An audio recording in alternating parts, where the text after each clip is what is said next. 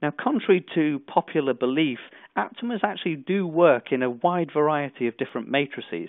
So I've shown you already a concentration dependent binding response in a nice clean buffer, but we've also shown that in plasma as well. And you can see that although there might be a, a, slight reduction in the signal, that response is still concentration dependent. And with the right calibration curve, you can see how you could get a, a fluorescence measurement there that is dose responsive, and you could therefore use that for quantitation. And we've also demonstrated this in a wide variety of other common matrices. So, river water, for example, milk, urine, all of these give very slightly different responses, but you can see in each case the concentration dependent response, so you could use this for quantification.